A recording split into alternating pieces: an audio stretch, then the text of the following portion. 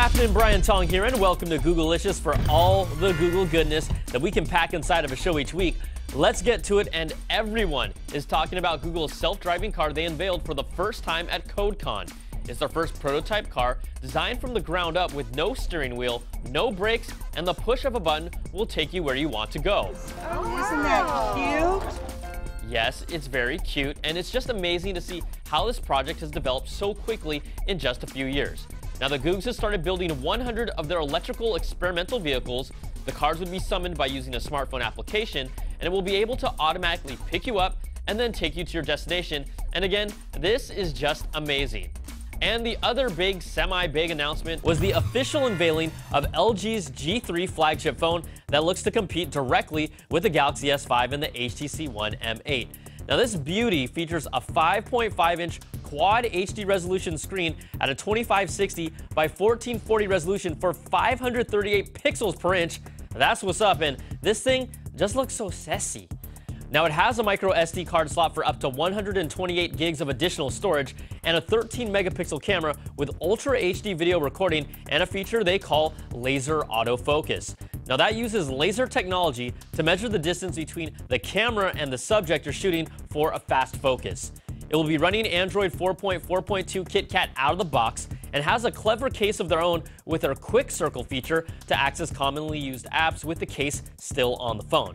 It goes on sale in South Korea on May 28th with a worldwide release to follow sometime after that, and I'm loving how these companies continue to innovate differently from each other. All right, last week we talked about all Google's latest acquisitions, and a new report from The Information says the Googs is planning to move into the home security market and is considering acquiring Dropcam, the makers of the popular camera system that streams live footage directly to your phones and computers. It's what Brian Cooley uses to watch his cats at home for uncomfortably long, long stretches of time.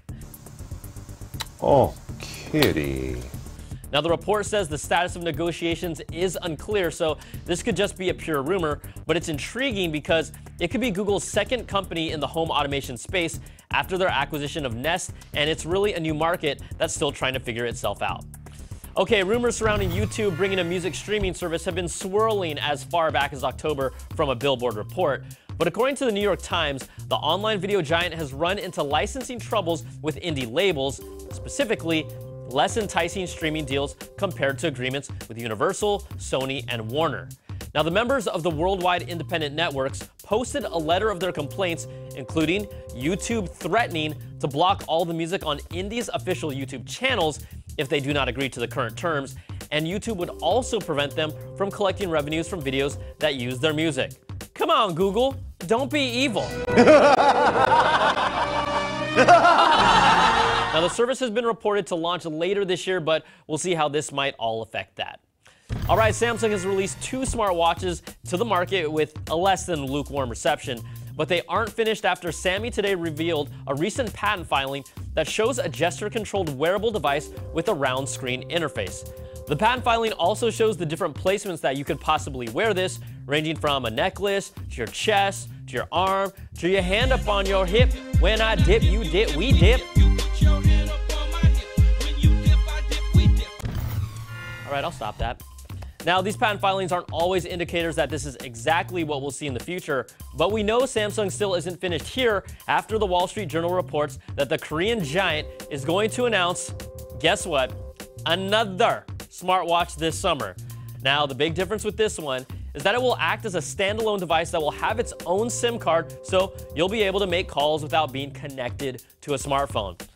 I'm sorry, but Samsung has already killed any excitement that they could bring in the smartwatch market after two huge fails that were clearly rushed out, and then they still want us to pay attention with their third smartwatch model in less than a year? Eh-eh, not having it. But if there's any smartwatch that really has my interest at all, it's the Moto 360, a smartwatch that actually looks like a fashionable watch. Now we've seen the concepts and we're expecting the real deal this summer, but just to keep the momentum going, Motorola started a contest and is letting the community submit watch face designs ahead of the launch. Now you can get all the details at the link on the screen, and this contest ends on June 24th, and they'll be giving away one Moto 360 to the submission that's selected as the winner. Now the community is really coming up with some great stuff ranging from this wood pattern. This one looks pretty cool too. And there's also a Tron theme, but I decided to do a little work on my own. And let's be honest, you're looking at the winner right here. All right, that's going to do it for this week's show. Email us at googlicious at cnet.com or tweet me at Brian Tong. Thanks so much for watching, and we'll see you guys next week for some more of that Googlicious. Googlicious.